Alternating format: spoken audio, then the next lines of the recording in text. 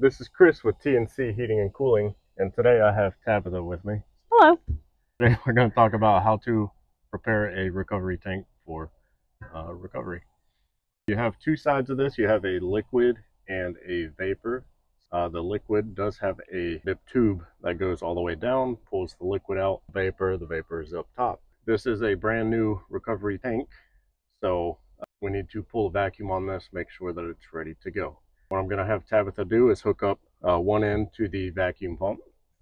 A few things that you're just going to need, obviously the recovery tank, a micron gauge, a vacuum rated hose, and a vacuum pump.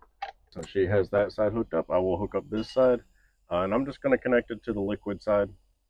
For the vacuum, it, it doesn't really matter. Just have the vacuum hose on one side, or micron gauge, and we are going to attach that to the other side. Turn on our micron gauge, make sure our connections are all tight. If you want, let's go ahead and turn on the vacuum pump.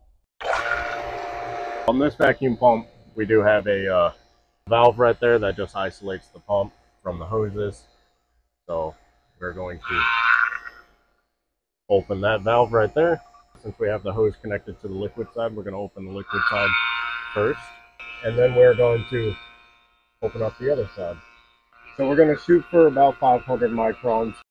As you see, we're below 500 microns. I'm just going to close off the vapor side or the side that's connected to the micron gauge. And then we're going to close the liquid side or the opposite side.